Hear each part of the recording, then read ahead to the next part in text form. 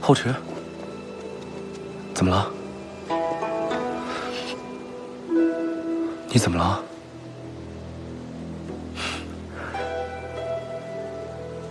是不是与父神之气了？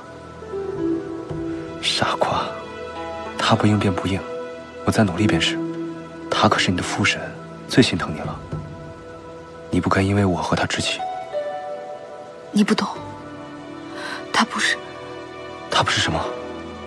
到底发生什么了？青木，你喜欢我吗？当然喜欢啊。你喜欢的是我吗？是我，侯池吗？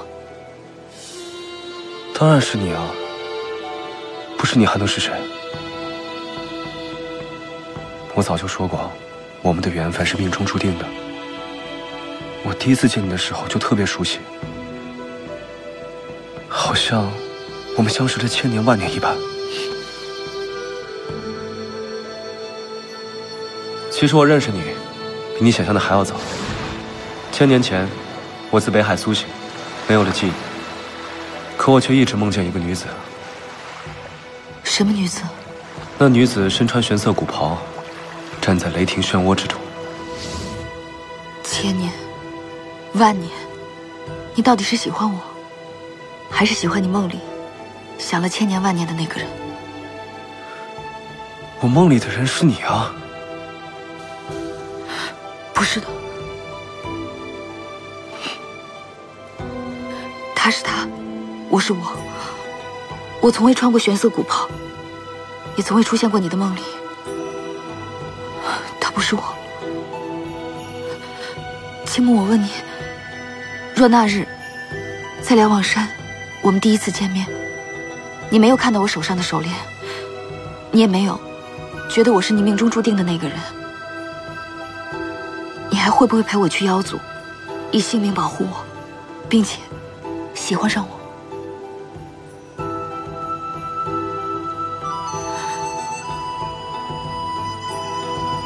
我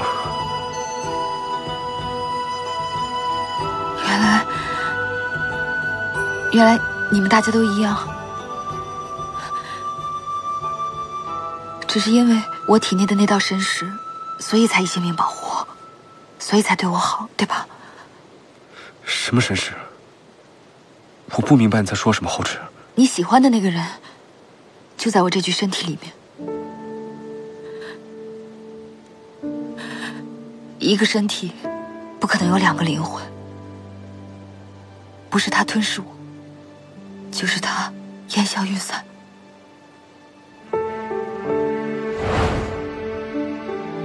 原来生。不成神，与你在一起。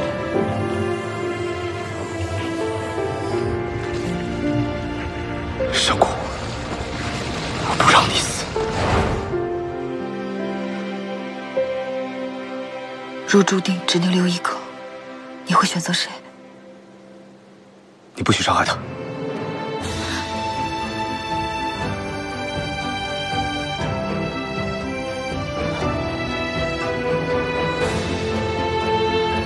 一个不许伤害他。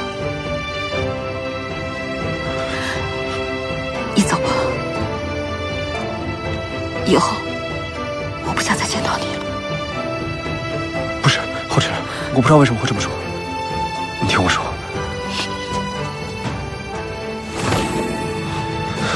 青木，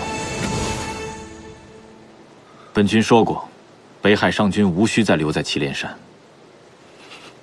神君。待我寻回后池，再来向神君请罪。你连自己的心意都分辨不清，就算把人追回来，又有什么意义？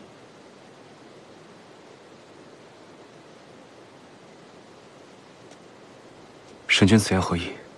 方才后池问你，他与他体内的神识只能存活一个，你选谁？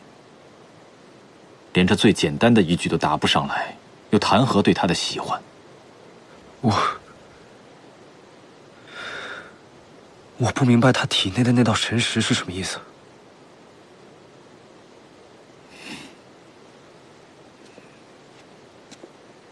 后池，并非我所亲生，他是我以一道上古神识孕育而成的。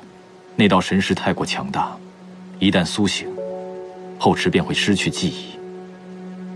对你来说，就相当于不复存在。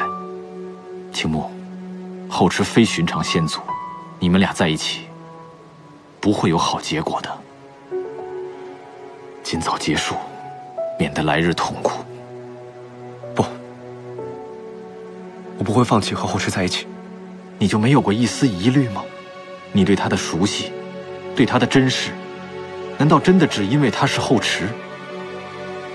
一个人若是连自己是谁都没搞清楚，便贸然求娶他人，未免为时尚早了吧？齐木斗胆，敢问神君，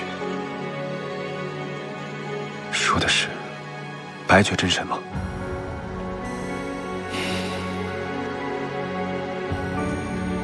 看来你心中已经有了答案。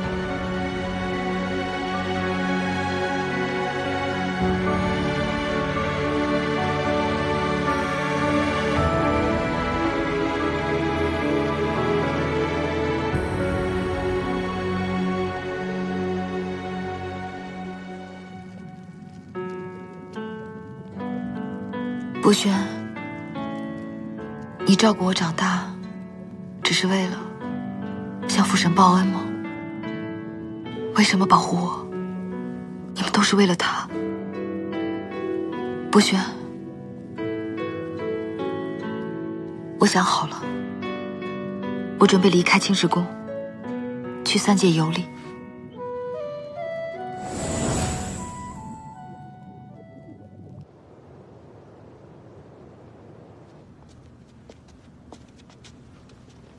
父神，剑儿来了。这是儿臣今日新得了一块赤河宝玉，想敬献给父神。剑儿啊，你一向孝顺，你母神在神界的时候，就特别喜欢赤河仙族进贡的宝玉。我们不如把这块宝玉送给他，如何？全听父神安排。报，陛下，罗刹帝来报，说。妖族又对罗刹帝发动进攻了，大殿下请陛下令，可否增援，助他大举反击，甚至甚至吞并妖族。让景阳驻守好仙妖结界即可。妖族若不进犯，我仙族绝不出兵。是。